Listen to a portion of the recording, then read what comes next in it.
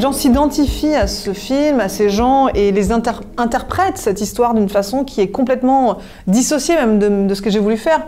Et c'est très fort parce que les gens me parlent beaucoup de leur vie. les gens me racontent toute leur vie tout le temps en me disant c'est ma vie.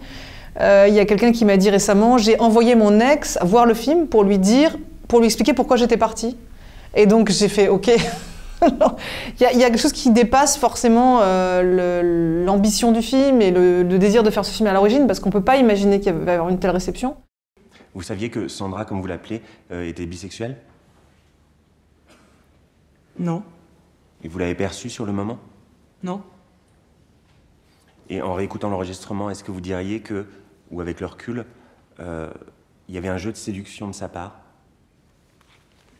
J'ai senti, elle me l'a dit elle-même d'ailleurs, qu'elle n'avait pas vraiment de, vie sociale intéressante à cette période-là ou d'occasion d'échanger comme ça avec des gens nouveaux. Et donc euh, ça a participé de, ce jeu de séduction, oui, si, on veut l'appeler comme ça. Ce que la Cour a besoin de savoir, c'est est-ce que vous, vous l'appelleriez comme ça?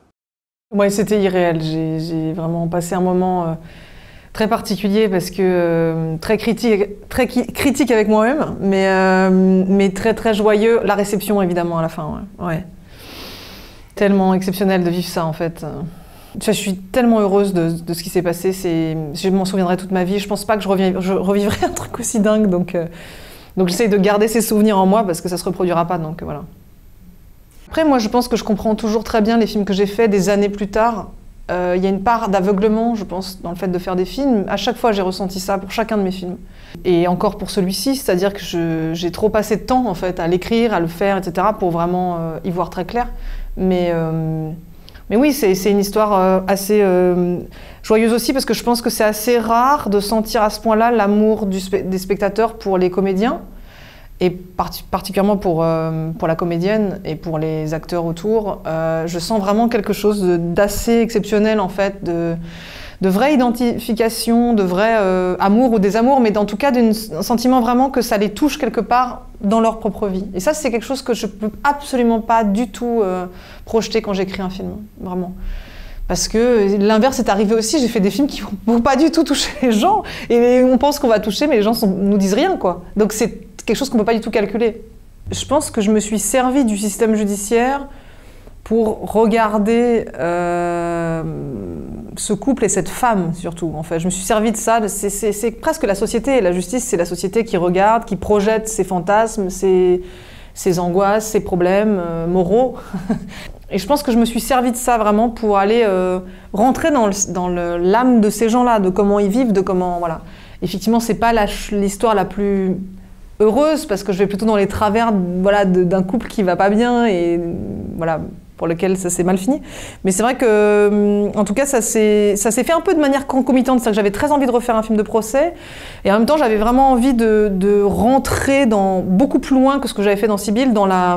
Dans la dans l'impossibilité de saisir vraiment euh, ce personnage-là, de me dire qui est cette femme. Et c'est passé aussi par le prisme de l'enfant, qui est ma mère, et ça, je pense que c'était quelque chose qui était très fort pour moi, l'idée de, positionner cet enfant euh, qui recherche la vérité comme tout le monde, qui est dans la même position et qui, se demande, et qui doit choisir entre son père et sa mère. Et cette idée vraiment de se dire, bah voilà, euh, je suis dans la pire des situations et, euh, et, je suis comme tout le monde, sauf que je suis dans un, endroit public et on va délirer sur l'histoire de ma vie quoi, et de mes parents.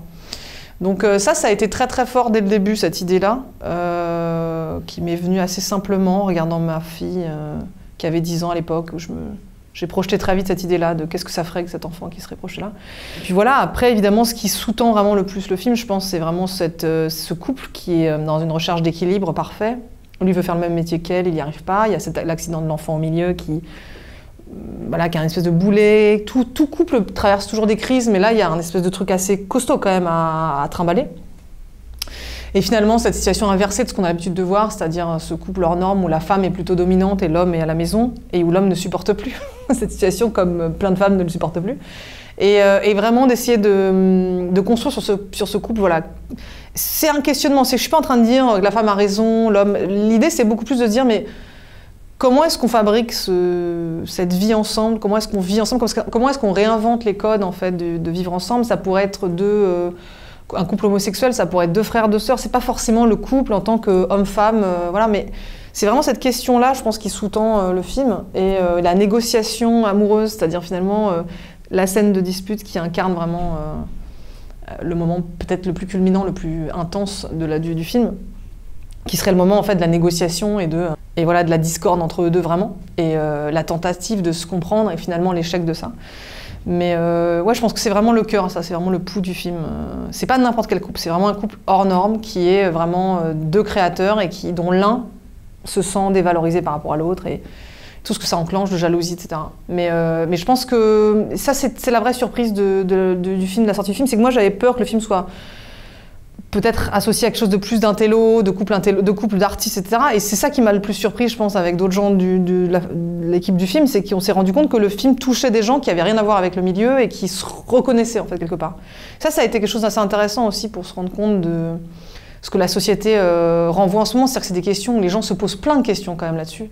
Il y a plein de gens qui décident de plus vivre ensemble, et ils ont raison. Il y a des gens qui décident d'être ensemble, mais autrement. Enfin, il y a tous les schémas, euh, il y a plein de schémas, je veux dire. Il n'y en a pas qu'un seul, en gros. Et je pense que c'est quelque chose d'assez actuel en ce moment, ces questions-là. Je m'en suis rendu compte, du coup, encore plus, je pense, par la réception du film.